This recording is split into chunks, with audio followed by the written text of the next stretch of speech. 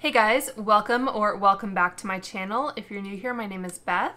And for today's video, I am going to be discussing the new bronzer from Kosas. And if you're a little confused because you thought Kosas already had a bronzer, uh, you are correct. They had this bronzer here. So I'm going to be kind of doing a side-by-side -side comparison of these two.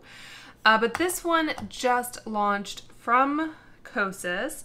Uh, I purchased it from Sephora. It retails for $35 for 6 grams of product. Uh, on the website, it is called the Sunshow Glowy Warmth Talc-Free Baked Bronzer. So if you are interested in talc-free makeup, uh, this may be one that you are interested in. However, I will point out that the old bronzer was also talc-free. So I think they may be emphasizing the talc-free component a little bit more in the marketing. Uh, the box itself just says the Sunshow Glowy Warmth Baked Bronzer. Uh, it says it's a clean, talc-free bronzer for soft, glowy warmth with the prettiest subtle sheen baked in Italy. Uh, and they say to use the Kosas Contour Fan Brush. Uh, and it's vegan, cruelty-free, gluten-free, free of lots of different things, which I think as some people have pointed out, uh, seems to be a little bit of an issue with some of their products because they are preservative-free. Uh, but anyway, this is a baked product, so I'm not as concerned with that. So before I get into kind of the side-by-side -side comparison here, I will note that I guess Kosas and I have a little bit of a storied past.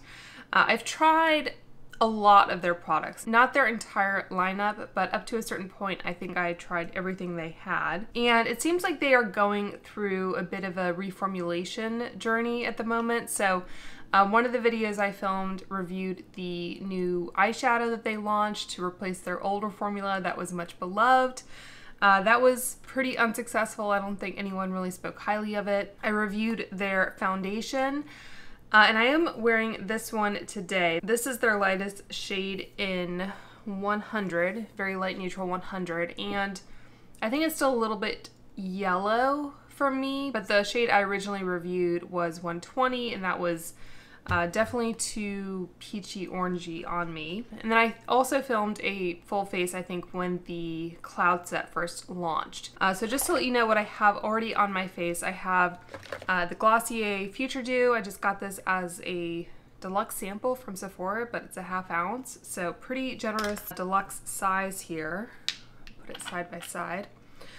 Uh, so I used that, uh, and then I also used this Kosas foundation. I used their concealer, and I also used the cloud set. So I feel like I'm still looking a little, a little luminous. I might go ahead and set with a different powder, but I just wanted to let you know kind of what I have on as a base here. So I feel like Kosas is a brand that I want to like more than I think I actually do. Kind of like Patrick Ta in a way. Uh, like some of their products I really do love. Uh, I love the finish of this foundation, but the shade has just been a little tricky. The concealer I think is the same way, it's just a little tricky. Uh, if you have very dry skin and you want a very light setting powder, then you would be interested in this one, but with the other foundation products I have on, I think I need a little bit more of a heavy duty powder for that. Uh, and their Brow Wiz, I've really enjoyed. I'm wearing this as well. Uh, this is in the shade Taupe, and I've actually thought about repurchasing that because I feel like it's getting a little um, kind of old and dried out. So uh, have really enjoyed this product, and their lip oils are also really nice. I'm wearing the shade Malibu. Uh, so I just wanted to let you know that I don't have it out for Kosas, uh, but I feel like some of their reformulation efforts have been more successful than others, perhaps. Uh, like I think this foundation has gotten pretty widespread acclaim. Uh, they originally had those tinted oil products, but like the lip liners they launched, I think have since been pulled. So uh, there's that, and I haven't tried any of their brushes or their sponge. Haven't tried the lip liners.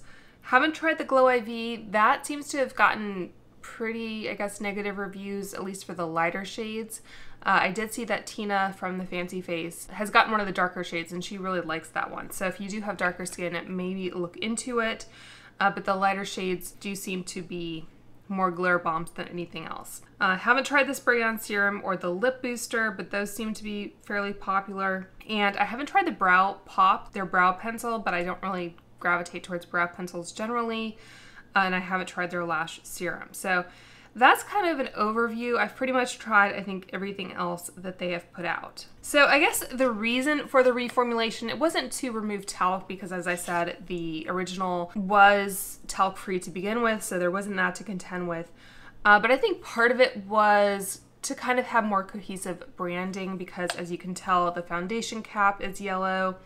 Uh, concealers have a yellow cap and their new Glow IV product is also yellow. So I think they're just trying to have more of a consistent branding. And they also, I think, reformulated. So I'll do a side by side comparison of the two formulas.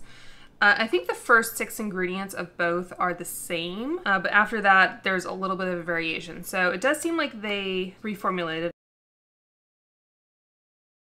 Although um, the packaging is identical, just a different color, really. And you can see this is more of an opaque label. I really need to do my nails, but I'm testing out a product, so I'm kind of in limbo there. Uh, anyway, but the Kosas label on this one is opaque, whereas this one was kind of frosted and then transparent. And I think these were, I'm guessing, made by the same manufacturer or the same lab because they have the same kind of imprint on the bottom there so yeah, so a, slight kind of formula difference, but I think what was the principal complaint for this product originally and why they probably relaunched it instead of just maybe adding new shades was at least my shade that I tried. So this was the shade Light, and according to them, it was a neutral bronze. It just, it leaned very kind of orange. I think in general, brands just seem to have difficulty coming up with a kind of believable bronze for fair skin tone because a lot of people with my complexion with freckles and everything we just don't tan naturally. So to get kind of a sun-kissed look is just a little bit more challenging. Um, so anyway so they I think redid the entire shade range again. It's not like adding new shades although um, the new shade these don't look too different in the viewfinder actually. The new lightest shade is called waves and I'll give you the shade descriptions in a moment. Yeah, I mean, I did a bit of a heavier swatch. On the model, I think I'm actually able to build up more opacity with the newer one, although this older one is older, so there's that. But yeah, the, the picture online made it look like this one was going to be a lot more kind of beigey peach. So um, what I'll end up doing here once I stop yapping is to um, put one on one side of my face and put one on the other. Yeah, these both have the same gram weight. and this waves they describe as a light bronze. And this is the shade light, which they describe as a neutral bronze. Uh, they also have a light medium bronze, a medium bronze, a medium deep bronze, and a deep bronze. So in the original line, it was just light, medium, and deep. So I don't have the kind of big fluffy brush that Kosas recommends for their product. Uh, I do have, I think the best version of that. I'm pretty sure all of Kosas's uh, brushes are synthetic. So I'm gonna use the BK103 brush and I do have my Sigma switch here so I can uh, use the same brush but clean it in between. Uh, so I'm going to start off with the old product and I had to say I do like this green color better than the yellow, but again, I understand. So honestly, I, like I said, should probably set my face. I didn't put any kind of contour or blush. I just wanted you to kind of be able to see. It is a very light light bronzer. I think let's kind of clean the brush off and I'll go in with this one. It does seem like it's kicking up a little bit more to begin with. I don't know if that's just because it's new. So I'll just try to kind of get off some of the excess. So I think it is pretty and I think applied this way, again, trying to clean off my brush, it does give you a little bit more of a sun-kissed radiance. Uh, I will have my older videos linked below. And I don't know if it's because I'm using a synthetic brush Like normally I like to use uh, the Rephr 22 brush. So try to get that mostly clean. So this is a natural hair brush and going again into the old product.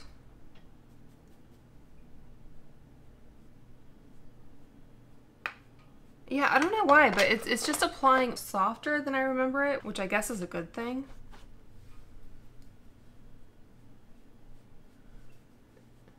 If you want to kind of limit your glow, it's probably not the product for you. And again, with the foundation match, like you can see kind of my neck and chest, you know, I'm looking a little bit more bronzed and dewy overall. Yeah, I guess, I don't know. I'm, I'm kind of surprised by this because I thought they were going to look more different on the skin than they actually do. I think if anything, like the new formula is more like pigmented. All right, so let's see what Kosas has to say. What do you have to say for yourself? They say it's a new look with new shades and sunny yellow packaging. So maybe it's just that they did add those two kind of intermediate shades. So the light medium and medium deep and the light medium and the deep are the same in theory. And then there's a little bit of a formula change, but otherwise like the packaging is essentially the same. It's just in a different color. I'm guessing that's what happened. But if I show you the pictures side by side of the model with the new shade and the model with the old shade, it doesn't look like it's the same product. I mean, granted, it's a different model, but I was expecting something, I don't know, more of kind of a light reflecting powder. Like I even pulled uh, some of my Hourglass powders because the way they were describing it, I thought it could have been close to the Radiant Light shade from Hourglass. I'll show you side by side. And these are also, I think, baked powders. Yeah, pretty, pretty similar. So if you haven't already tried the Kosas powder, Kosas bronzer, and you already have the Radiant light from Hourglass, you maybe can just make do with that, especially for the light shade. So anyway, that, that was an interesting journey. So I, I don't think this was kind of a Kosas radically changed the formula, even though it does seem like there were some tweaks. I think this is just a shade expansion and new packaging is kind of where I'm I'm landing. Again, some subtle differences. This is the old bronzer and this is the new one and as you saw, I was really kind of going in and building it. So probably wouldn't be as apparent for a normal application. But anyway, I think that's the end of this kind of random little video that I decided to film. So I hope you guys found that helpful and it satisfied any curiosity you have regarding this new Kosas product. Let me know if you tried the old and or the new product and what you think. Uh, but until next time, I hope you guys are all doing well and staying safe, and I will talk to you soon. Bye.